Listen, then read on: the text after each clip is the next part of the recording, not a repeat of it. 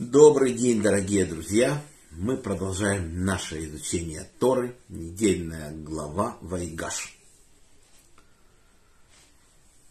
Яков готовится к спуску в Египет. Яков сказал, что колесницы, которые прислал Иосиф, не годятся. На них изображение идолов. И Ягуда их поснимал, этих идолов, только тогда Яков согласился ехать в Египет. Мы знаем, что Яков сначала спрашивает разрешение у Всевышнего, потому что он хорошо знает, что его папе Ицхаку Всевышний сказал ему, не спускайся в Египет, поживи в стране, в котором я скажу тебе.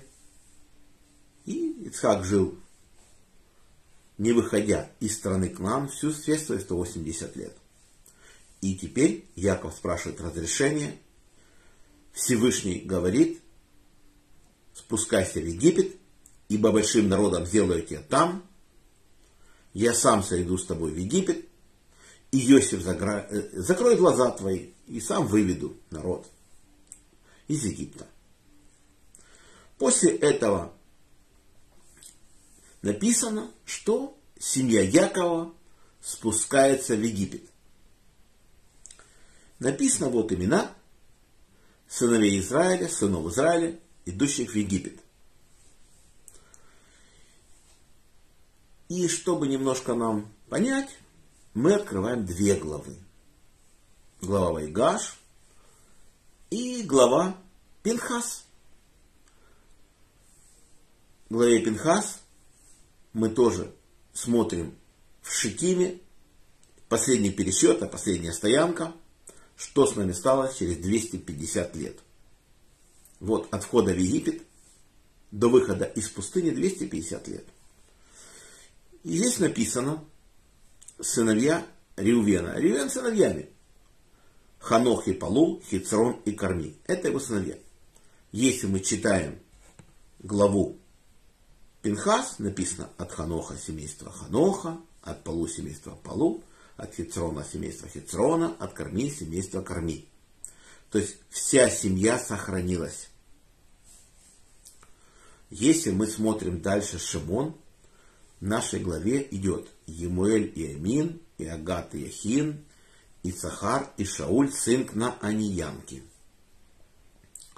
Если мы открываем главу Пинхас, Агада нет. Семьи Агада нет. Мало того, что семьи Агада нет, то и в месте, где стоит Цахар, стоит слово Зерах. Семь семей сынов Израиля, пишет Раши, были убиты. Братоубийство на войне гражданской, в Масероте. Это после смерти Агарона. Вот поэтому Агада здесь нет. Говорит Раши, благословенной памяти, что Сахар и Зирах имеют одно и то же значение, сияние. Поэтому это один и тот же человек, и в данном случае он не видит никакой в этом проблемы. То есть Сахар станет Зирахом через 250 лет, а семья так будет называться. Теперь дальше.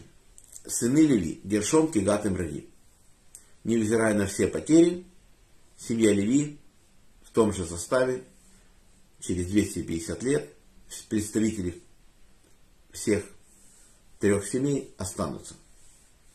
Что касается Ягуды, то мы знаем, что у Ягуды были дети, Эранан, умерли стране Кнаан, и были от Шелы семейства, семейства Шелы, в общем, от переца, семейства переца, от зираха семейства зираха, и были сыновья переца, Хицрон и Хамуль. В общем, никого мы, мы не потеряли из колена Ягуды. Что касается Хицрона и Хамуля, мы уже об этом говорили, что за 22 года Ягуда успел жениться, родить трех сыновей, сыновья выросли, женил одного, он умер, второй он умер, третьего не дал. Потом его невестка его выловила на дороге, сделала с ним хупу, без него его женили, и родились Перец и Зерах. После этого Перец вырос, женился и родил Хицрона и Хамуля, и вот за 22 года он уже, Игуда с внуками Хицрона и Хамуля входит в Египет. То есть это чудо невероятно, как Всевышний сделал, что он за 22 года все успел. Значит, почему вообще мы говорим за Эра и Анана, если они умерли? То интересный комментарий Санчина пишется, что их души вселились в Хицрона и Хамуля, в сыновей Переца. Если сказать, что это ливерантный брак, то казалось бы, что сыновья Перец и Зерах, то не может быть, потому что отец не может быть обязан сделать ливерантный брак. Только брат за брата. Тора пишет, если братья живут вместе, один умирает, и у него детей нет, то его брат женится на его вдове, и ребенок, который родится, будет считаться именем брата. Ну, вот так, такой порядок. А он отец, а не брат, поэтому этот номер не работает. И поэтому там пишется, что вот Хицрон и Хамули это так. Хотя нам тоже это не совсем понятно. Разве перед женился на своей маме, на Тамар? Конечно, нет. В общем, немножко непонятный комментарий, но такой есть. Значит, семья Игуды у нас сохранилась. Потом смотрим дальше. Семья Исахара, Талапуа, Йов и Шемрон. Если мы смотрим Гулкинхас, от Талы семейства Талы, от Пувы семейства Пувы, от Яшува семейства Яшува, от Шеврона семейства Шеврона. Получается, на том месте, где стоит Йов, стоит Яшув. И какое-то произошло изменение, что Йов по каким-то причинам стал Яшувом. Но мы знаем, что в Торе меняются имена. Бывают такие ситуации, что имена меняются. Мы знаем, Авраам стал Авраам и так далее. Яхов, Израиль. В общем, Сарай Сара стала. В общем, у нас это не новость это. Особо значения мудрецы не придают. Значит, теперь у нас идут сыновья Зильпы. Значит, нет, еще у нас Звулун, от Звулуна те же сыновья, все у нас сохранилось. Серед, Илон и Ахлиэль также стали семейством Середа, семейством Илона, семейство Ахилеля, все, все отлично. Звулун не поменялся, все семьи сохранились, все хорошо. Теперь сыновья Зильпы и сыновья Гада, Цифион, Хаги, Шуни, Эцбон, Ири, Аради и Аррели. И если мы берем семью Гада в Пинхас, то написано, что количество там не пропадает, но имена поменялись. Тут, где стоит Эцбон, там стоит Азни. И тут Аради, тут Арод, то, в общем, есть разница, есть какая-то. Но вот это вот Азни Раша обращает внимание. Он говорит, Азни это Эцбон, но я не знаю, как это доказать. Он это знает. Для нас обычно в том месте, где стоит Эцбон, стоит Азни, ну, думаешь, ну, по идее это так. Но здесь он пишет, я не знаю, как это доказать. Хотя он считает, что это так. И знаменитый Равин Ария Кодыш, он говорит, ну как бы не был велик Раша, он не может писать, э, что он не знает, если он не знает, как доказать, не надо это писать. И потом прошло время, и он находит Заброшенный мидраж называется. Какой-то, видно, редкий мидраж. И там пишет одна фраза, Азни это Эцбон древний. Поэтому надо быть осторожным с Рашей. Если он что-то говорит, он все равно правильно говорит. Обычно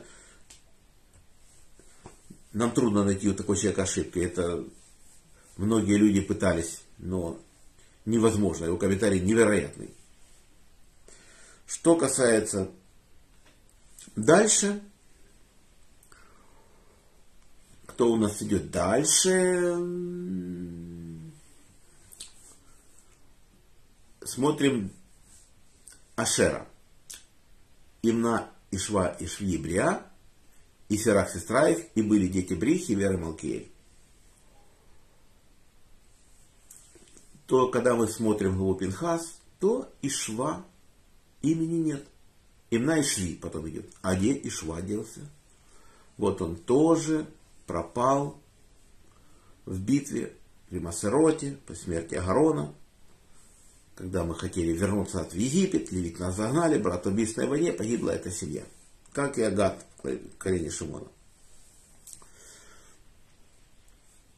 И больше всех страдает Беньямин. То есть, если мы берем сыновья Иосифа, Минаше и Ефраим, оба целые, все хорошо. Что касается Бенемина, здесь у нас перечислили 10 имен. Бела Бехер Ашбель, Геранайман, Ихиерош, Мупим, Купимиарт. Хорошо. Если мы открываем главу Пинхас и смотрим там, то у нас из десяти возможных семей остаются пять. Белла и Бахир остались. Гера не стала этой семьи. Наамана тоже не стала. Эхи стала Хирамом, он остался. И Арт пропал тоже. Мупим, Хупим стали Шфуфам и Хуфам. Рош тоже пропадает. В общем, пять семей мы потеряли. Но пишет нам Ашем, пишет он нам, что были сыны Белы, Арды Нааман. То есть Всевышний делает семьями еще внуков. Он делает семьями внуков. Вот так вот. То есть, вот получается, если мы 5 здесь потеряли, одного мы потеряли у Ашера и одного потеряли у Шимона. И вот семь семей, которые были убиты. И наши мудрецы говорят, это большая потеря нас. Меньше благословения мы получили, потому что потеряли 11 семей. 4 левитских семьи и 7 семей сынов Израиля. И мы много семей получили от Иосифа. То есть, здесь мы что мы здесь знаем? Мы здесь знаем, что у Иосифа есть два сына Минаше и Ефраим. И если мы разбираем линию Минаше, то когда мы смотрим Глупинхац, получается, что Диву даешься. То есть, если мы, допустим, посмотрели там Егуда, дети и внуки у него семьи. Также и у Бенемина дети и внуки семьи. Также у Ашера дети и внуки его семьи остались. У кого-то просто только дети являются семьями, там, допустим, как у Исахара или у Звулуна. В общем, а у Иосифа такое, было, такое благословение, что у него намного больше поколений стали родоначальниками семей. То есть пишется, что у Иосифа был сын Минаше. Вот Минаше, он уже глава рода один. У, у Минаше родился Гелиад, и написано от Гелиада семейство Гелиада тоже получается уже семья. Это уже внуки. А потом и пишется, что с Гелиада, Езер, Хилека, Свель, Шехев, Шведа и Хефер, это уже правнуки, тоже каждый из них является родоначальником семьи. И потом написано уже, вот получается, пять поколений. И даже продолжается это в Пинхас написано, что Хефер родил Савхада, не пишется, что он родился, но пишется, что родил Савхада. Имя упомянуто, у Савхада дочери Махлана, Ахалла, Милка и Керца такое, такое большое родословие у Иосифа перечислено в главе Пинхас. То есть очень сильно размножилась эта семья. Хотя, казалось бы, Эфраим большую браху получил у Якова, но почему-то тот через 250 лет Минаше размножился сильнее. И по количеству там будет большее число стоять, чем у Ефраима, у Минаше будет. Как-то браха сработала невероятно. В общем, если мы посмотрим, что было с Ефраимом, то у него тоже хорошая браха, и написано, что у него три сына, Шутулах, Бахер и Тахан, и был, были сыновья Шутулаха и Иран. То есть, получается, и дети, и внуки стали родоначальниками семей. У Ефраима тоже. Но не так, как у Минаше у него большая линия очень перечислена, очень большая браха идет у него. Теперь, если мы смотрим Дана, сыновья Дана, Хушим. Почему стоит множественное число Хушим? И он один сын, а написано сыновья. То есть мудрецы наши, они говорят, что невзирая, что у него один сын, и тот он глухой Хушим, это знаменитый Хушим, который убил Исава, когда он претендовал на то, что ему отдали место в пещере Махпила, то